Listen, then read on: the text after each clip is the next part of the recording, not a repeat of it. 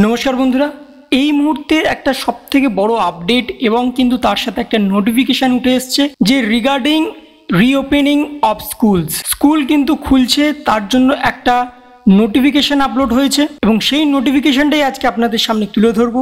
নোটিফিকেশানে কিন্তু সরাসরি বলা হয়েছে schools are going to open very soon school কিন্তু খুব শীঘ্রই খুলতে চলেছে। গতকালকে আমাদের মাননীয় মুখ্যমন্ত্রী মমতা বন্দ্যোপাধ্যায় কিন্তু ঘোষণা করে দিয়েছেন আবারও যে পূজার পরে যদি সংক্রমণ কন্ট্রোলের মধ্যে থাকে, সংক্রমণ যদি না ছড়ায়, তাহলে স্কুল কিন্তু পূজার পরেই খোলা হচ্ছে।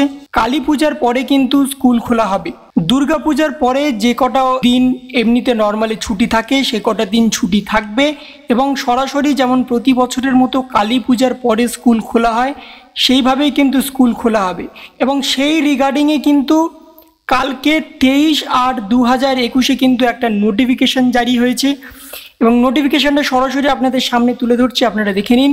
যে বলা হচ্ছে, দেখে নিন regarding reopening of schools you are well aware of the fact that the schools are going to open very soon এবং সেই স্কুল খোলা নিয়েই কিন্তু স্কুলে স্কুলে নোটিফিকেশান পাঠানো হয়েছে। নোটিফিকেশানে কি বলা হয়েছে সেটাই এবার আপনাদের সামনে বলি।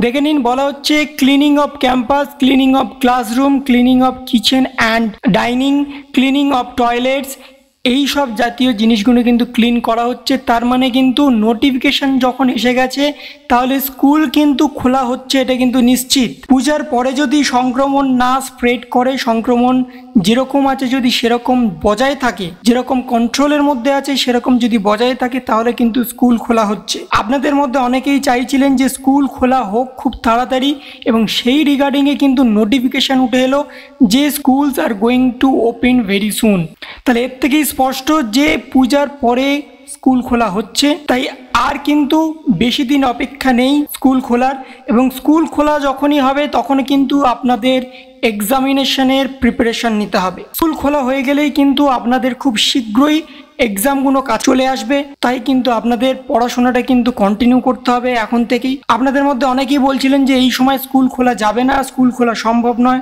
বা স্কুল খুলতে হবে না।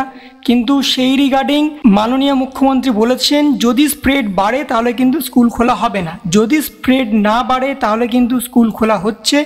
এবং সেই জন্যই কিন্তু স্কুলে স্কুলে এই নোটিফিকেশনটা চলে গেছে। এবং স্কুলগুলো কিন্তু তাদের ক্যাম্পাস অলরেডি ক্লিনিং করতে শুরু করে দিয়েছে। তাহলে এই ছিল একটা ছোট্ট আপডেট আপনাদের সকলের সামনে। যদি আপনাদের ভিডিওটা ভালো লেগে থাকে, তবে লাইক করুন শেয়ার করুন, এবং অবশ্যই সাবস্ক্রাইব করুন। তার পাশাপাশি আপনার মতামত কমেন্টের মাধ্যমে জানান।